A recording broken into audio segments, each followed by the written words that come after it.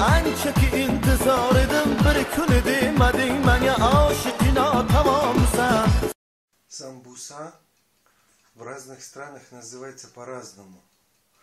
На узбекском языке она называется самса, э, в Индии она называется самоса, в арабских странах она называется самбусак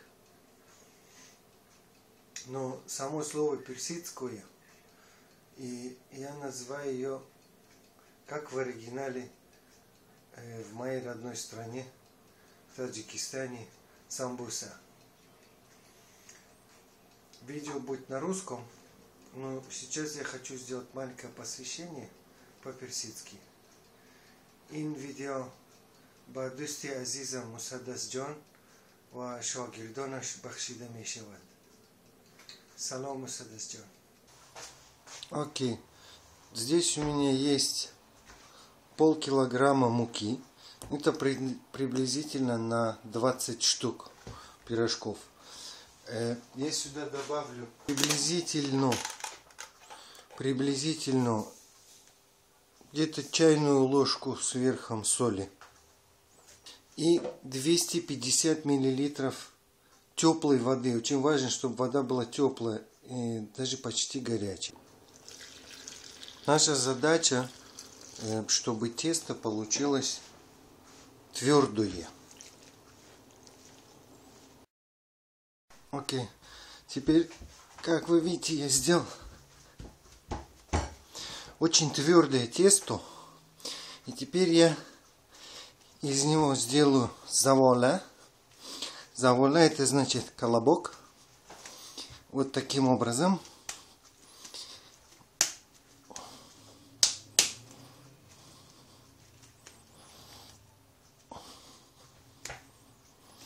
Оно мне не получилось гладким. И это нормально. Лучше тесто будет пусть слишком твердое, чем слишком мягкое. И теперь вот этот колобок я заверну в салофан, такой прилипучий салофан, клингфильм. Я не знаю, как называется на русском клингфильм. Ну, липучий вот этот вот салофан. Right. Теперь завернули тесто. И обязательно тесто надо оставить отдыхать. На, ну, это калька с персидского, мы говорим дамгерифтан. Тесто должно постоять, не надо в холодильнике. Э, в, при комнатной температуре минимум, если вы торопитесь, минимум полчасика. А вообще час или даже два будет неплохо. А пока оно отдыхает, мы займемся приготовлением начинки. Для самбусы мы используем баранину. Я пошел к мяснику и заказал у него просто такие кусочки, обрезки всякие баранины. Не обошлось дешево и сердито. Она вообще лучше баранину резать, когда она в замороженном состоянии, тогда будет легко резать мясо. Режем ее на мелкие квадратики. Ну, вот этот мой кусок плохо заморозился. И он уже разваливается. Ну, ничего. Режем мясо на вот такие мелкие кусочки, мелкие кубики. Э, нам не нужен фарш. В самбусе мясо должно быть мелко нарезано, но чтобы все-таки кусочки мяса существовали. Традиционно в самбусу добавляется бараний курдючный жир ругани думбе. Но мы сейчас все стали буржуи. Мы стараемся жирное не кушать, особенно наши прекрасные женщины. Поэтому это самбуса будет без думбы. Теперь э, в наше мясо мы добавим репчатого луку. Большую такую луковицу, а то и две, мелко-мелко порезанную. Вообще правило, как кашу не испортишь маслом, точно так же самбусу не испортишь луком. Не бойтесь пере, перелучить вашу самбусу. Больше лука она будет только вкуснее. Функция лука это предотвратить ситуацию, когда мясо э, в вашей самбусе все слипнется в один комок. Чтобы этого не произошло, нужно положить побольше луку. Ну, я делаю на глаз, допустим, в посуду, обычно стеклянную, кладу мясо и приблизительно, и я говорю не по весу, а по объему, такое же, такое же количество нарезанного лука. 50 на 50 где-то. По объему, я говорю, я их не взвешиваю. Но по объему должно быть... Если вот столько мяса, то столько же лука. Смесь мы посолим по вкусу. Добавим опять-таки по вкусу черного перца. Ну, щепотку достаточно обычно. И немножко зира. Зира называется кьюмин по-английски. А по-русски, я думаю, так и зовут зира. Я лично люблю толченую зиру. Но так как мы делаем традиционный рецепт, я делаю как положено по традиции. Перемешиваем.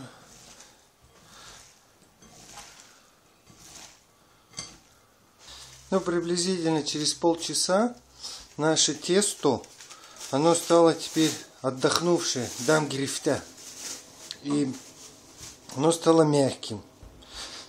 Теперь мы его помнем еще разок.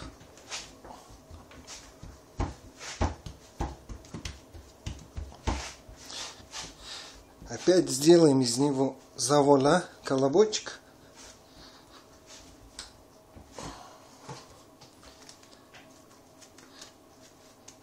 Делаем из него колобок. И теперь, теперь я его разрежу на две части. И сделаю два завола, два колобка. И оставлю их еще немножечко постоять. Конечно, завернув их в салафан. После того, как наше тесто отдохнуло, ну теперь дам грифта, отдохнувшее, но стало мягким. Мы его раскатаем. Тоненько, как вы можете, тоньше, ну приблизительно как тесто для пельменей.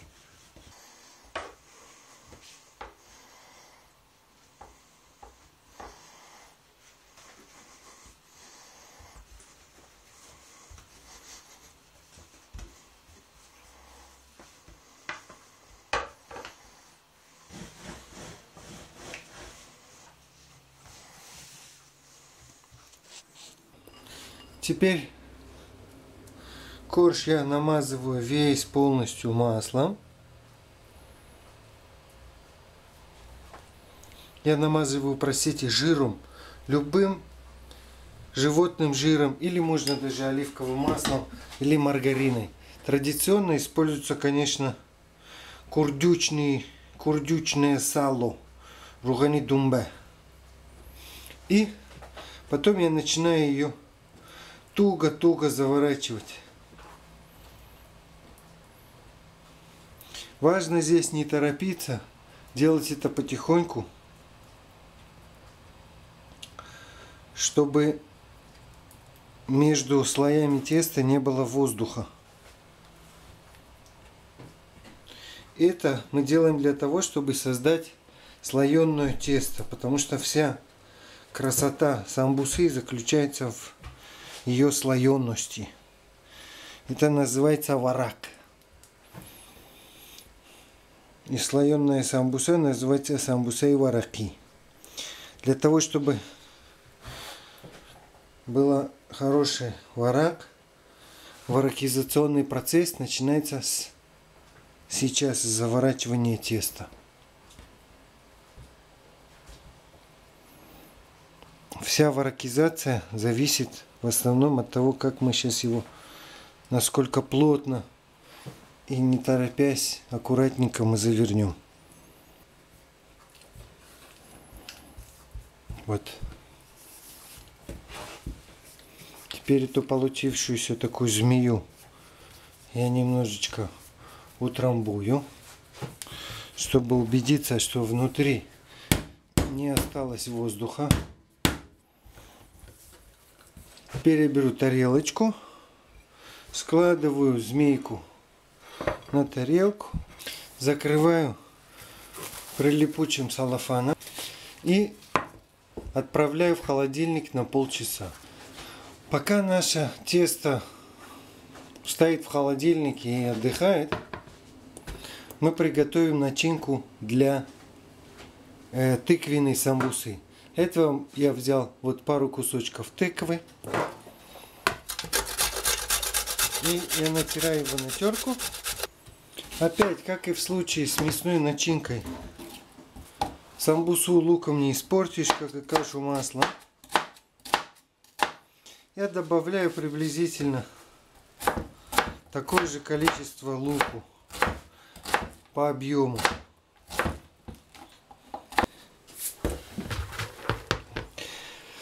Теперь состав и 50 на 50 тыквы лук мы добавляем лук. Мы, спросите, добавляем соль по вкусу. Я положил где-то чайную ложку.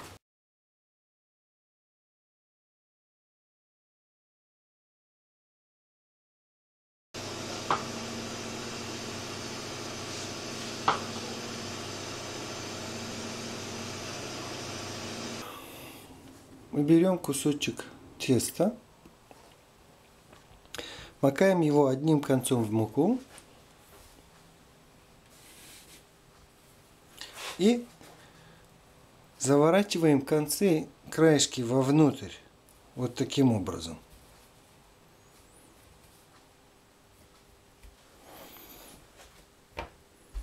Немножко придавливаем, посыпаем еще раз мукой и раскатываем такой кругляшок.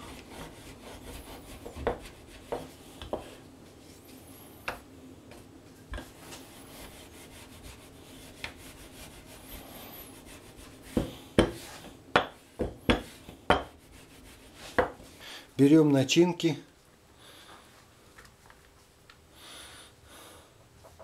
Немножечко. Я беру прям лапой.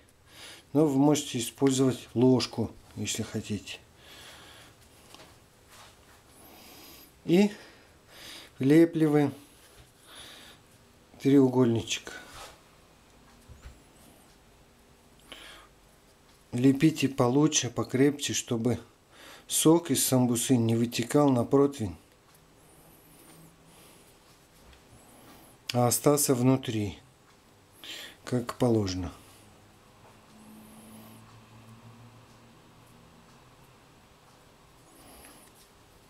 Вот получается такой треугольный пирожок.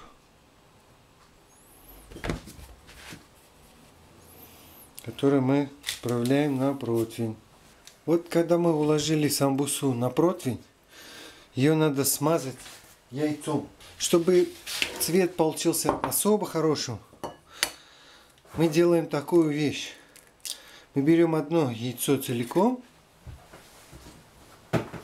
а из второго яйца мы берем только желток. То есть это как бы полтора яйца. Размешиваем хорошенько яйцо.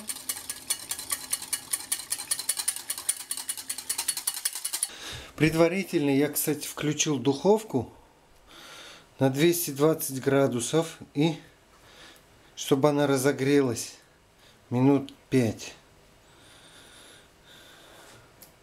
И хорошо-хорошо смазываем каждую самбусу яйцом.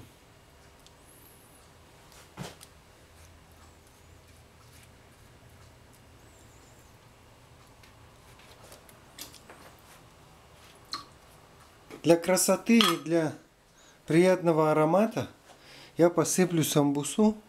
Это самбуса с тыквой.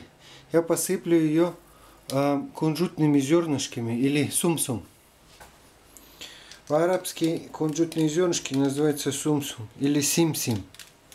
Это, кстати, тот самый сим-сим из Али-Бабы, который открывал двери в пещеру. Ну вот, все готово. Можно отправлять в печь. 220 градусов на 25 минут. Ну а пока печется наша э, тыквенная самбуса, мы сейчас повторим всю ту же операцию и сделаем самбусу с мясной начинкой.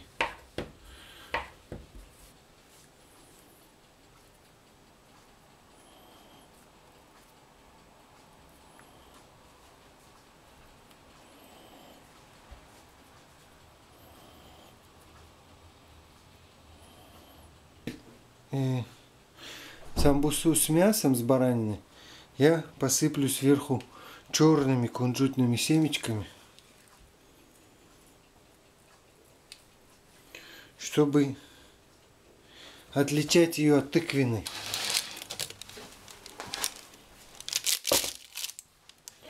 Я вытащил, вытащил самбусу из духовки. Я хочу проверить спекся ли низ. Да, низ, видите, хороший, красивый. Это мои самбусы с вегетарианской начинкой тыквой. В духовку идет самбуса с бараниной. Пекись самбуса. До встречи через 25 минут. Пеклись наши мясные самбусы. Я проверяю сзади, что они тоже красивые, золотистые. Можно их теперь красиво уложить на тарелку и подавать. Вот и все. Спасибо вам, друзья, что посмотрели мое видео. До скорых встреч в эфире.